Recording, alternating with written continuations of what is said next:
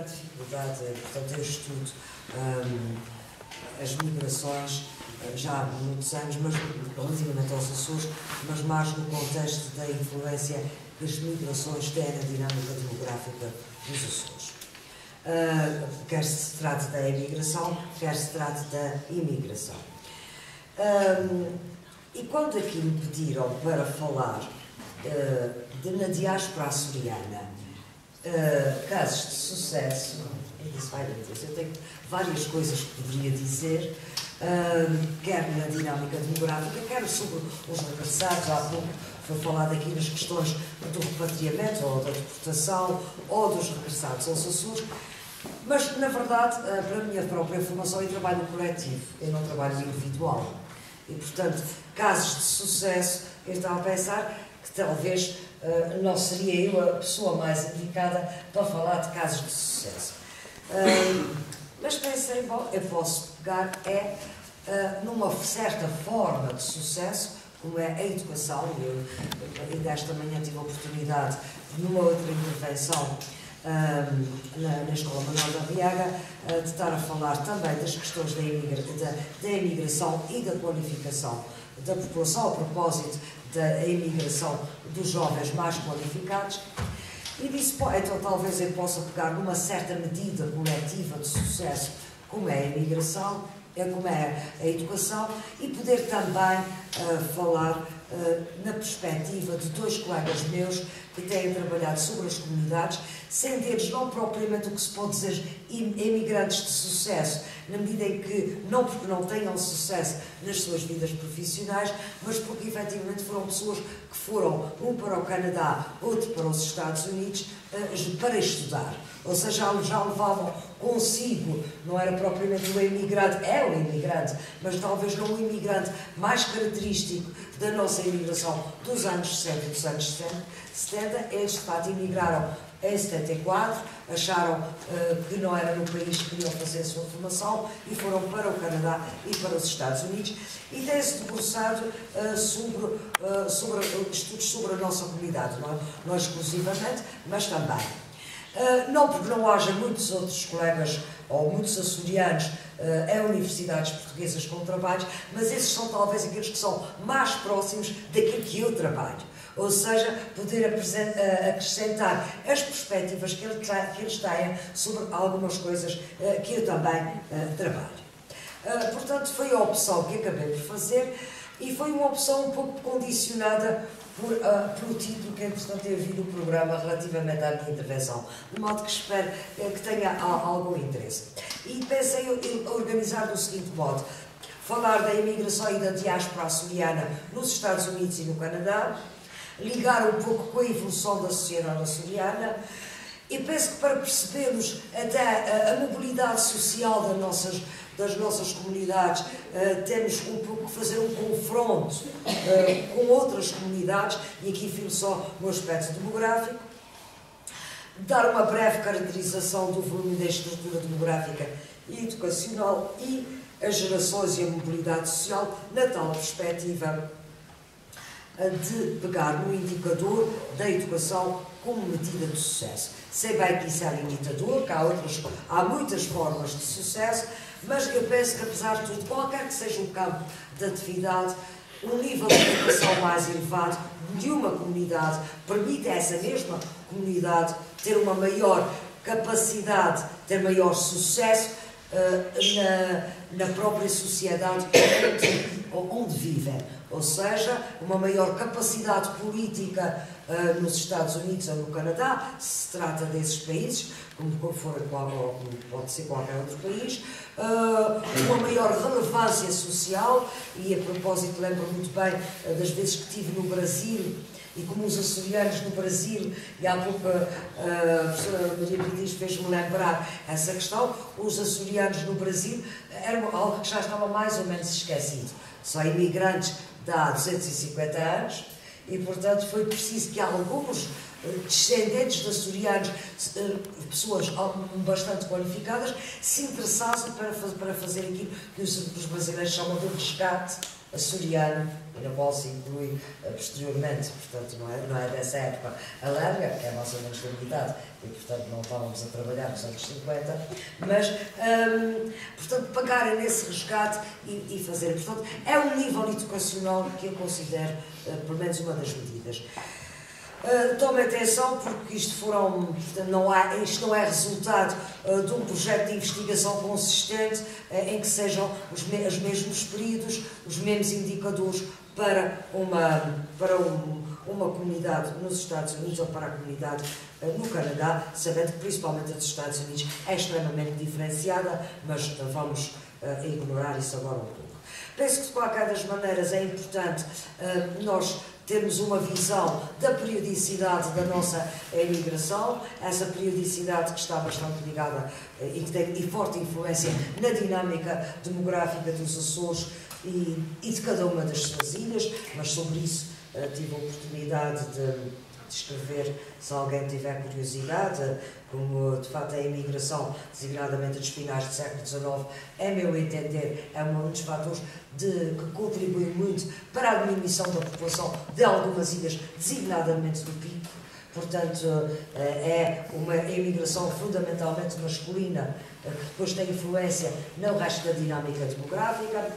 Ah, mas aqui uma grande visão a nível só dos Açores, ah, de, dos períodos de imigração, e temos aqui o período das crises de, dos anos 20 até ao final da Segunda Guerra Mundial uh, e, e, até chegar perto dos anos 60, e aqui é o vulcão dos uh, fundamentalmente, e portanto a grande imigração dos anos 65 a 75 e praticamente um período de baixíssima imigração a partir dos anos 80.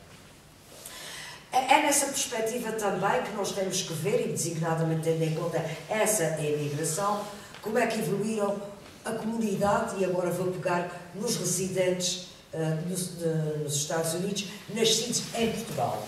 E aqui vemos, portanto, na outra, na outra, na outra ponta, como em 1960 uh, a situação, portanto, aqui temos a totalidade do país, o, o, o continente, o Portugal, portanto, o conjunto do país e aqui os Açores. E, portanto, estamos a ver como é a partir dos anos uh, 60 que uh, a comunidade uh, aumenta mais significativamente. Pegando os, nos, portanto, com base no inquérito da população residente nos Estados Unidos de origem portuguesa, e agora não estou a falar é diferente do gráfico anterior, estou a falar dos nascidos em Portugal, de origem portuguesa, podemos estar a falar de primeira, segunda, terceira, mais geração, e portanto temos, e aqui queria mostrar que nos Estados Unidos corresponde a 0,5% a comunidade de origem portuguesa e não só açoriana, a informação que tenho nem sempre. Nós conseguimos essa discriminação, eu já não vou falar na questão da qualidade dos dados eh, muitas vezes não temos informação, ou melhor, relativamente às migrações, nunca temos informação rigorosa. Temos valores indicativos. E depois vemos que essa comunidade, a, grande maioria, tem uh, 25 e mais anos, uh, e dos nascidos em Portugal, a quase totalidade tem 25 e mais anos. Ou seja, a partir do momento que a imigração diminui, obviamente que a comunidade envelhece.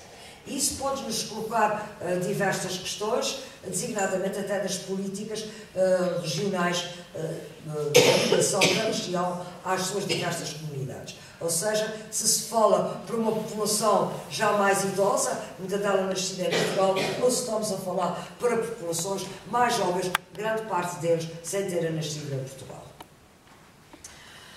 Uh, aqui para vermos e para fazermos um confronto, eu gosto muito de fazer dois tipos de análise, aliás, estes meus colegas que eu peguei, peguei porque eles fazem dois tipos de análise. Uma é a análise de evolução, a evolução da imigração, a evolução da educação. Uh, uh, outra, outro aspecto, e que de facto no caso da educação todos nós sabemos que felizmente os níveis de educação da nossa população têm melhorado bastante, eh, como das nossas comunidades, também tem melhorado. Agora, se nós compararmos com os outros, ou seja, em vez de uma, de uma evolução, de uma análise diacrónica, nós fizermos uma sincrónica, eu acho que não, não estamos a melhorar. Ou seja, face aos outros países, quer agora não estou falando só da questão dos, um, dos imigrantes ou das comunidades, mesmo nossa, uh, na, no nosso país, na nossa região, melhoramos muito os níveis de instrução da nossa população. Agora, se compararmos com os outros países, nós não a melhorar, a diferença é cada vez maior.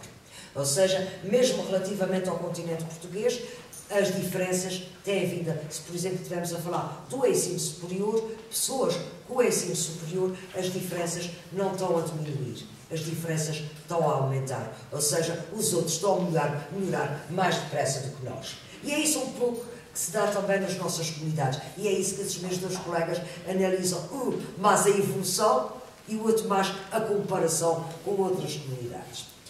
Um, isto pareceu-me que também ter, poderia ter algum interesse. Eu fiz, uh, uh, fui buscar esse, esse gráfico uh, a outro trabalho que tenho e que não, não suspeitava bem isso, mas era para nós vermos como a variação da população residente nos, nos Estados Unidos, nascida no estrangeiro, como ela aumentou muito de 1960 para 2000, como a Europa diminuiu, portanto, as grandes correntes imigratórias, e aqui estamos a falar de irlandeses, de italianos, diminuíram de 1960 para 2000, ou seja, são de outros grupos étnicos de outros países a que corresponde esse aumento, mas Portugal aumentou nesse período e os Açores também aumentou. Ou seja, com isso também podemos ver que, face a outros países hum, europeus, nós temos uma imigração mais recente e, portanto, apesar de tudo, depois, para vermos os níveis educacionais, também não podemos deixar de pensar estamos a falar ainda de uma primeira, de uma segunda, de uma terceira geração e qual é o peso uh, de cada uma delas. Portanto, isto aqui é um pouco para podermos, nós não temos talvez muito tempo para, para ver isto, é a questão que está neste período de 1960 a 2000, mas também por décadas. Uh, portanto, a década de 60 e 70, o total da Europa eh, de 60 para 70 diminui, mas Portugal e os Açores aumentam. Eh, na década de 70, hum, eh, a Europa diminui menos, de 70 a 80, Portugal e os Açores aumentam, mas a partir daí há um total que não tem a ver já com a evolução, passa a ser negativa de Portugal e dos Açores.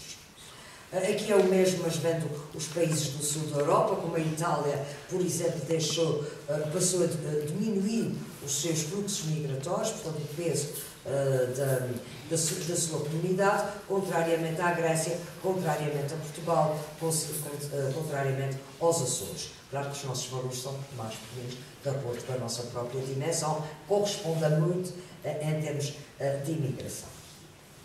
Isso, claro, uh, porque, enfim, penso que principalmente os mais novos, uh, e são todos aqui bem mais novos, uh, ver qual era, os, quais a evolução dos níveis de educação e da atividade da nossa população. Em 1960, então, para fazer aqui um confronto, tinha também os dados dos Açores e de Portugal, vamos situar a taxa de analfabetismo era da ordem dos 30%, Uh, nos Açores 33%, uh, em Portugal estamos a ver a tal visão que eu disse positiva em termos diacrónicos, como ela tem vindo a diminuir e corresponder só a 4,7% uh, em 2011.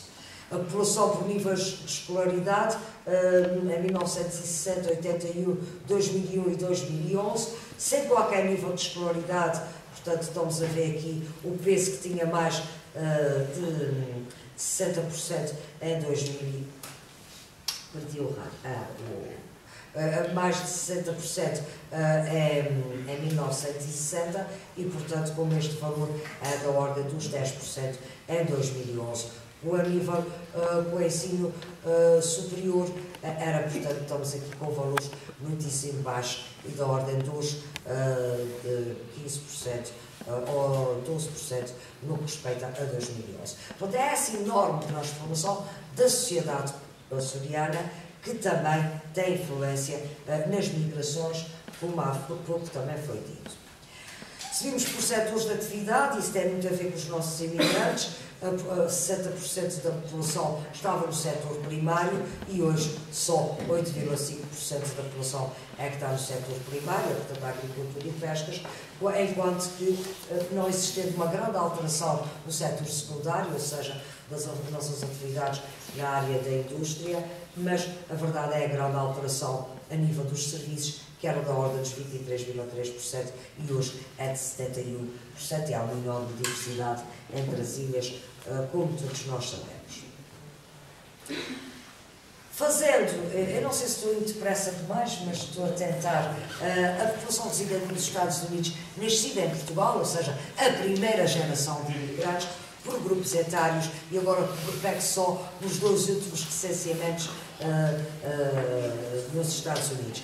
O que é que nós vemos? Vemos o, o que a população um, que tinha menos de 25 anos passa de 7,6% para 3,2% em 10 anos. Portanto, é o envelhecimento, o que está aqui muito claro, é o envelhecimento da nossa primeira geração.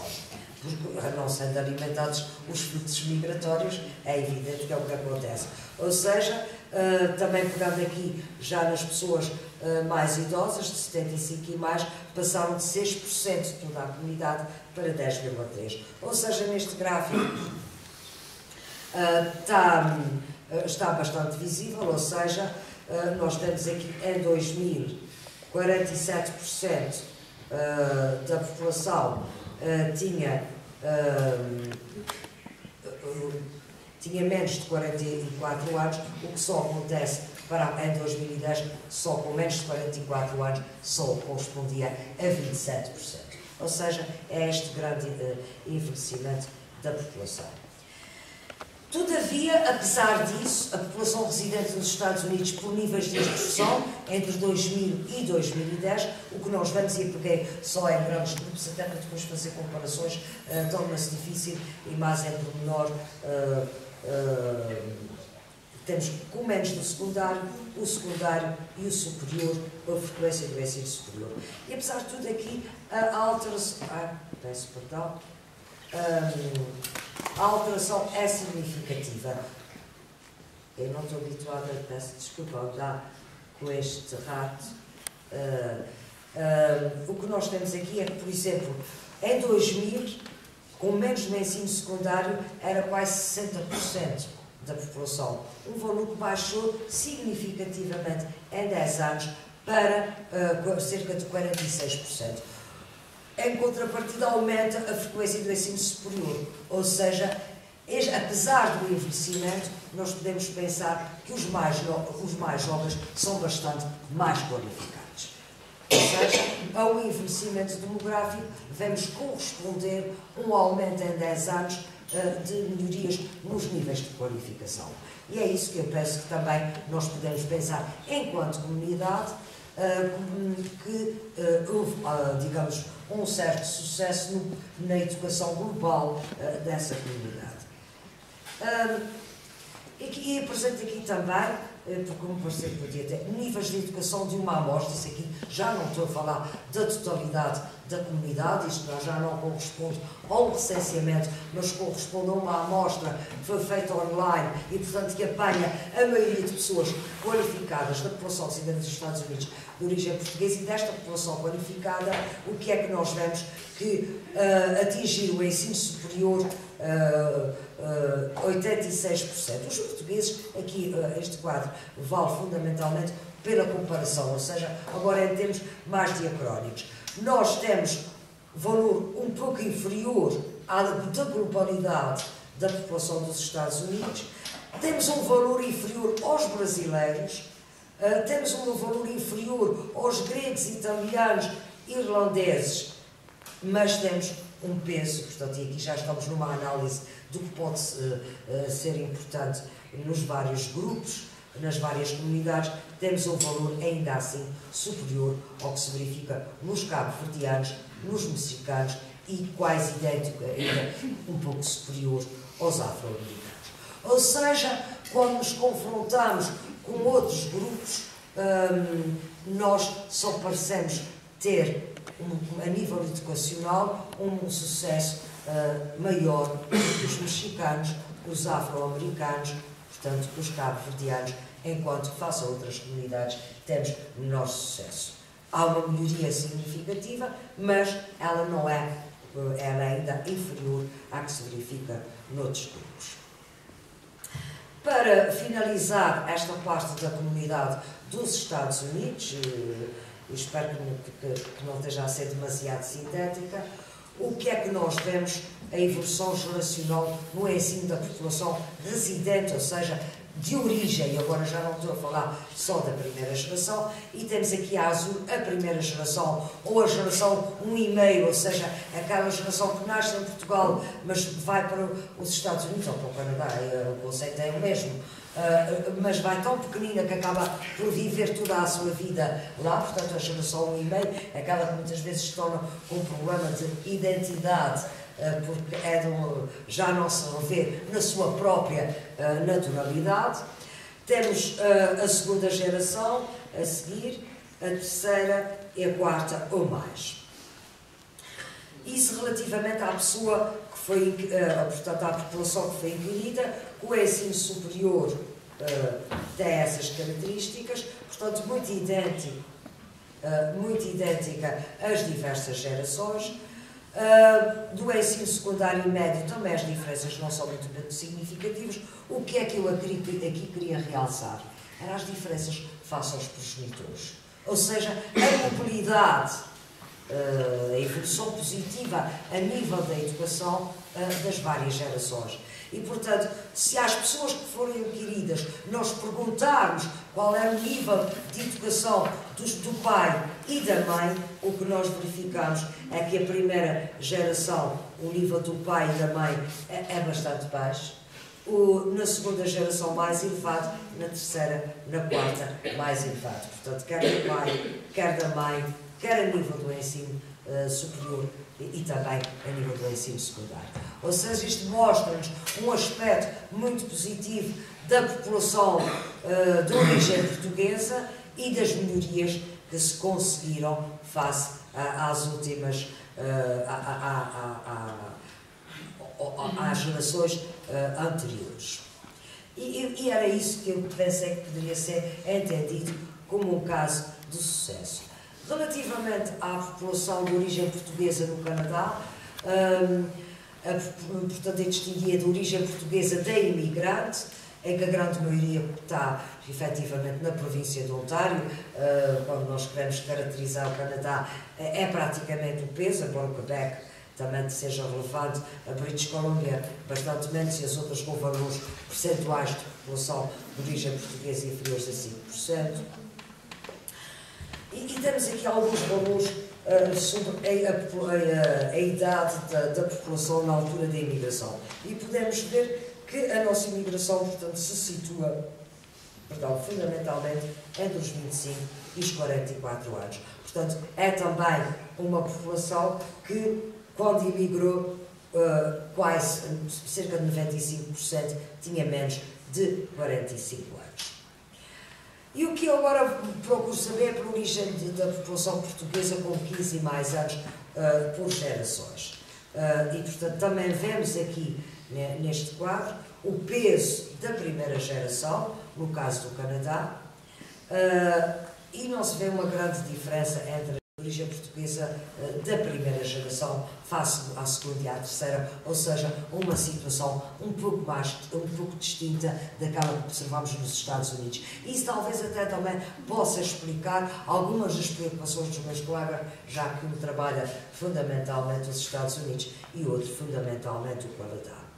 Mas temos aqui a população de origem portuguesa no Canadá, com 15 e mais anos, e portanto temos um peso uh, de mas é, que é das diversas gerações, embora acabamos de ver que o peso da primeira geração, há um, cerca de 37% ou 38% tem menos do que o ensino secundário, a, a maioria tem o ensino secundário médio e profissional, e aqui juntei todos, e aqui, e só menos de 20% tem a licenciatura ou o mestrado, doutoramento, portanto, outros graus eh, de ensino superior.